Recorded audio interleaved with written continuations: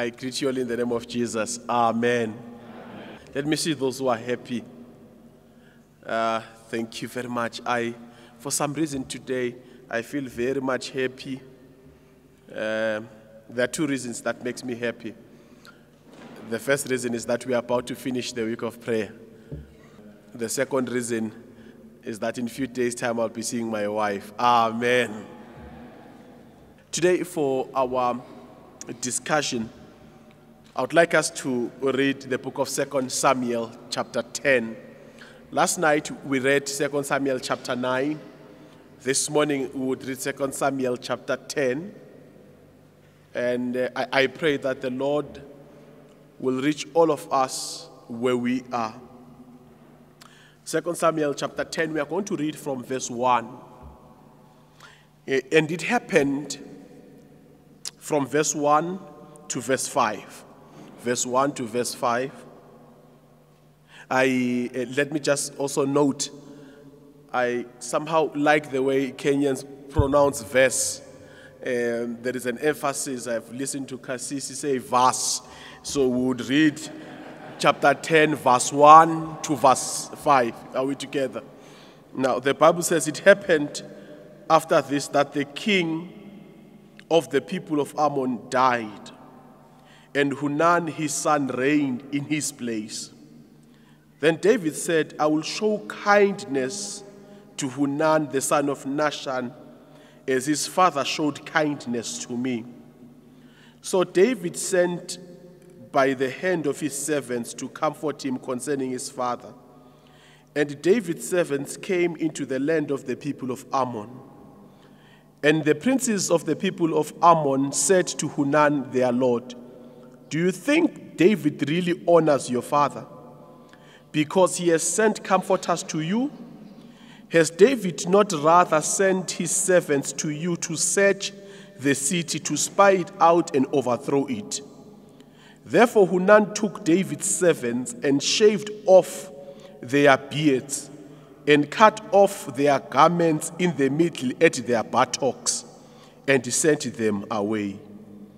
When they told David, he sent to meet them because the men were greatly ashamed And the king said, Wait in Jericho until your beards have grown and then return.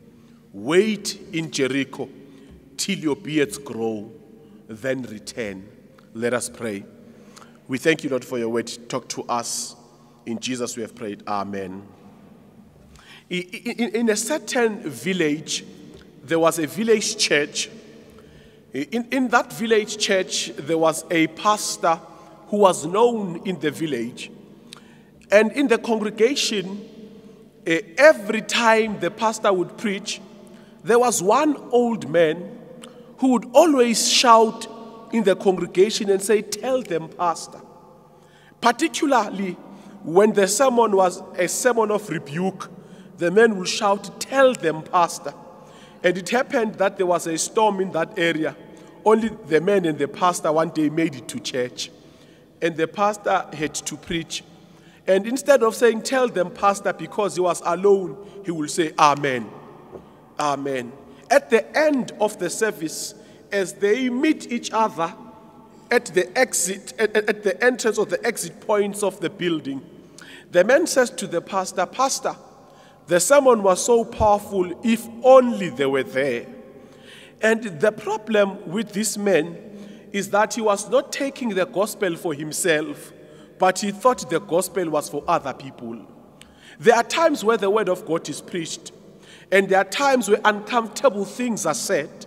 And as they are said, people, because they've got self righteousness, would actually, instead of taking it to themselves, they will think God is talking to other people.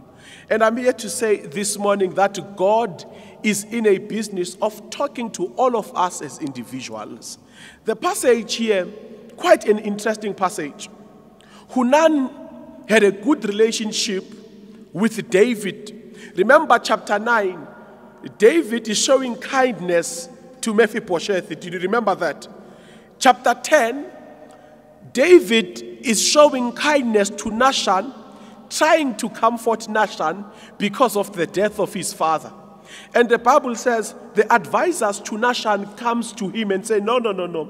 David does not honor your father. He has just sent these guys to come and spy the land so that they come and overthrow it. Then they sit down. What can we do to this man? They take the men of David, they cut the beards, and they cut their, the- the- their garments up until their buttocks. And one scholar, Old Testament man, says it was an embarrassment in the ancient Near East to get a man and shave off his beard. It was a sign that we have taken away his dignity. And not even that, they were not only shaved, but their garments went up. They were walking everyone, their nakedness was outside. And David's message is clear. When David hears about their embarrassment, he says to them, Wait in Jericho. Number one, Jericho had been destroyed. It was an uncomfortable place to be in. Nothing grew in Jericho. There was no life in Jericho, but David sends a message. He says to them, Wait in Jericho till your beards grow. When they have grown, then return. Their passport to come back home was the growth of their beard. He sends food for them, He sends sustenance for them in a place that was uncomfortable to be in. Let me come closer home. When I was called to be a pastor, I was never, I never received a message by God that says, I'm calling you to be the president of the conference. My calling was that I am calling you to be a pastor. If God places you in a certain place, even no matter how uncomfortable it is, God has placed you in that situation for a purpose. People have a tendency of wanting to rush what God has planned for them. A story is told of two friends. They get to a restaurant. The one orders salad and the other one orders steak, and he says the steak must be well done.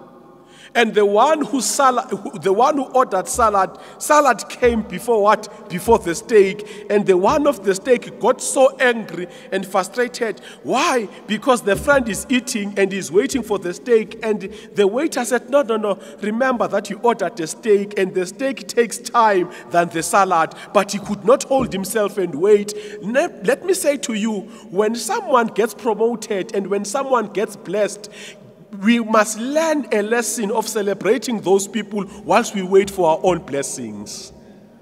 Let me challenge and say something that might be uncomfortable to people. In this university, there is one vice chancellor. Ah, I thought you'll say amen. In this university, there's how many vice chancellors? One. Wherever you are, you are not the vice chancellor. God has placed you where He has placed you. You are not the vice chancellor. There are people where God has placed them in certain, in certain situations. They have even have qualifications of criticism. They criticize so much that when God looks at them, he sees that they are not fit for position. Any good leader must be a good follower. There is never a way where a person can be a good leader without mastering leadership 101, which is to follow faithfully. Now, I, I, I, I- imagine, you see, one writer says, or one preacher says, there are people who got sick, even in the Adventist church. A person gets sick, he goes to the doctors.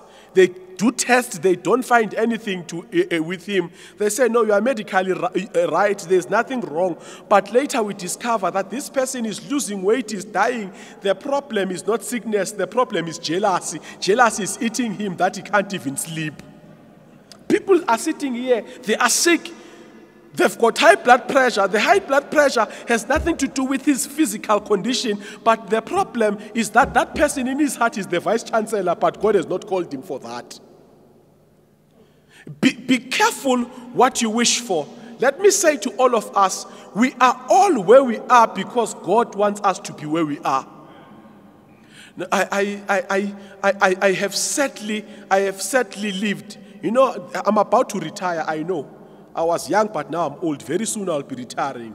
I, I, I, I, do not know of any other church except this church. I have seen people come session, they don't sleep. Some of them, they even pray, Lord, we want this thing. And, and I, unfortunately, I can tell you something that every man that is in a particular position, God has placed him there for a purpose. I studied in Zimbabwe. I'm about to finish. Robert Mugabe led for a long time. People tried all they could try, but Mugabe was still president.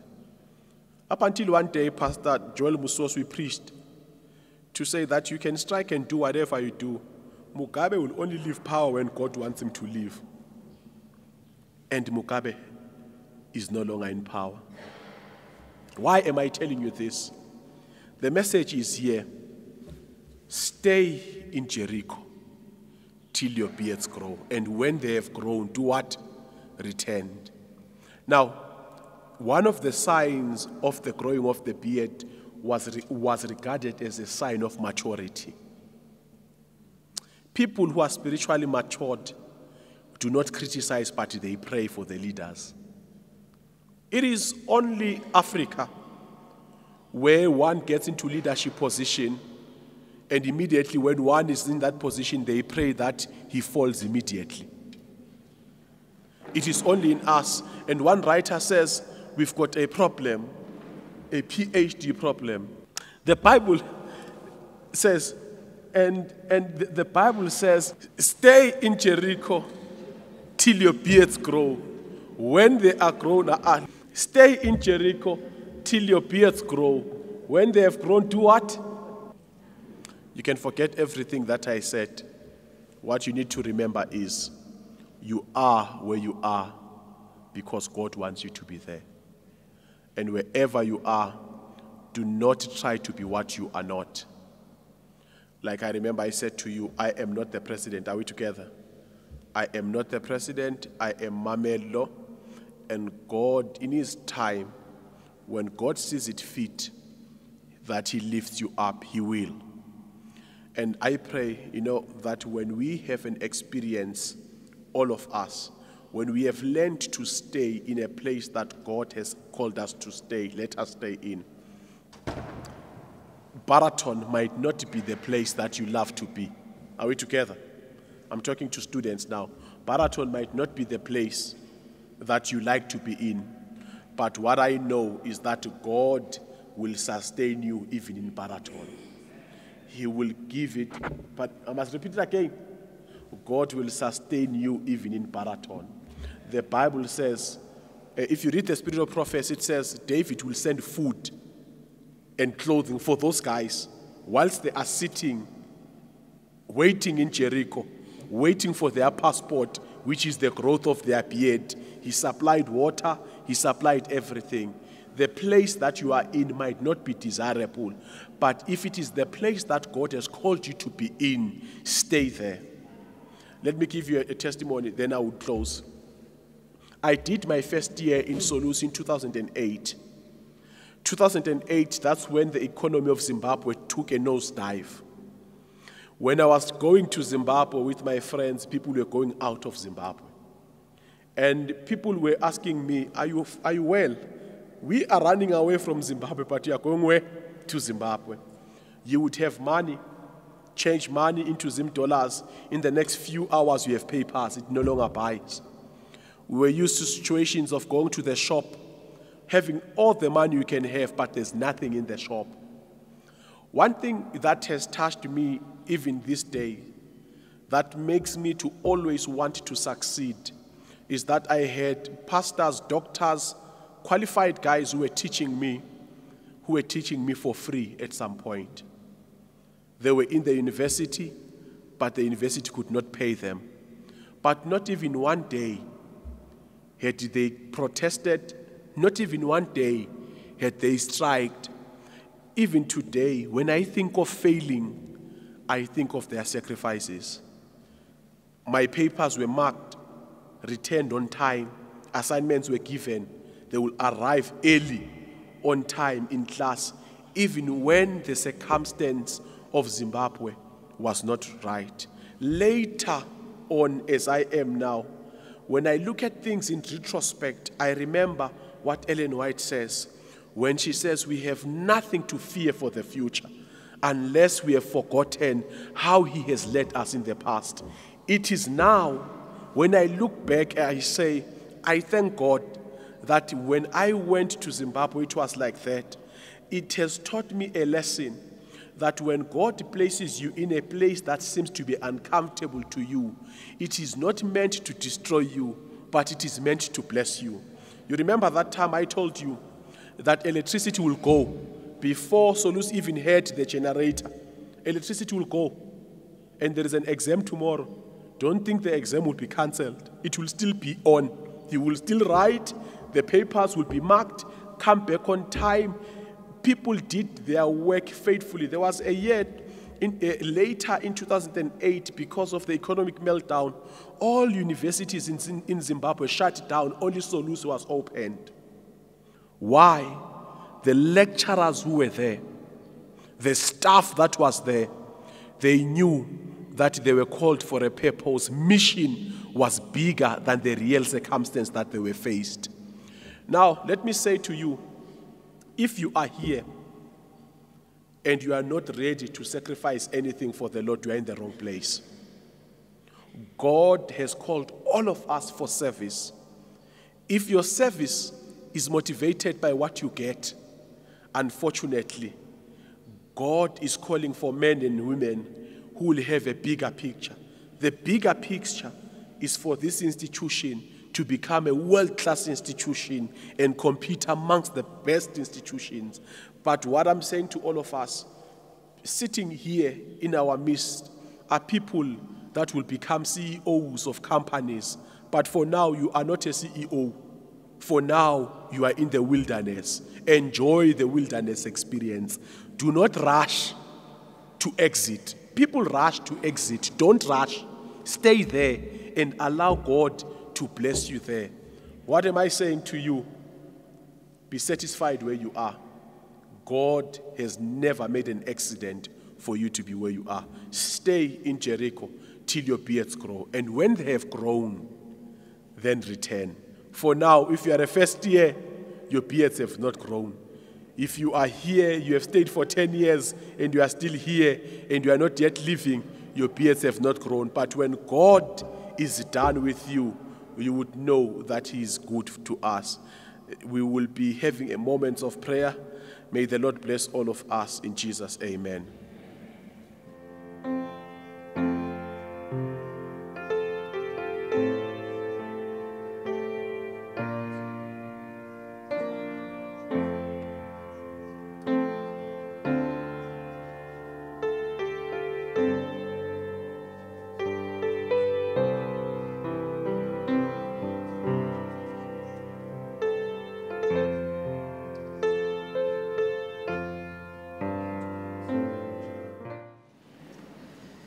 Our dear Heavenly Father, we count it a great privilege to gather for worship,